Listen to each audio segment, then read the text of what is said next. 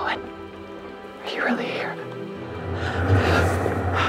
The first time I read the script, when I thought about the character that I was going to play, Owen, he sort of embeds himself into the audience's mind straight away and then just sort of lingers there for a while before you start to watch the story of him unfold.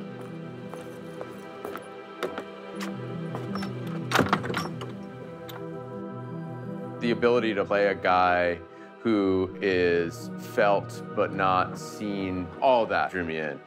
Evan Jonigkeit had a really unique challenge in this because he's playing both her husband Owen, which we see uh, in a few home videos, but he's also playing a vision of you know what we call the entity that just happens to be posturing itself as Owen as a means for communication.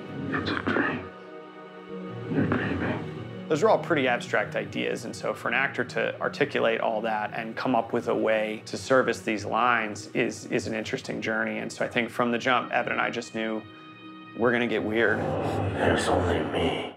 Come back to me. We're gonna go into some strange places and come back and we're gonna try some things that may feel absurd at first, but may take us in new directions. And it was really exciting to see him find the voice and really begin to wield it throughout the piece. He's not entirely playing Owen and he's not entirely not playing Owen, but we didn't get to do any of the nice stuff together, really. I think the scenes that I did have with him weren't the scenes of sort of domestic bliss, unfortunately. We had to do something quite different. We posed for some photos together and we talked a lot about what their marriage might have been like. He had some hard stuff to do and he really, he really rose to the challenge.